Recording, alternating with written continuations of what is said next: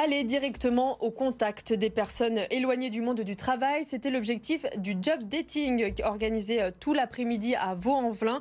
Euh, pendant plus de trois heures, entreprises et candidats ont pu directement échanger. Un moment privilégié pour les deux côtés. Écoutez. Euh, je suis ici aujourd'hui, c'est justement pour recruter, pour retrouver des candidats, parce qu'on est en zone pénurique. Dans la logistique, ça ne recrute pas très bien.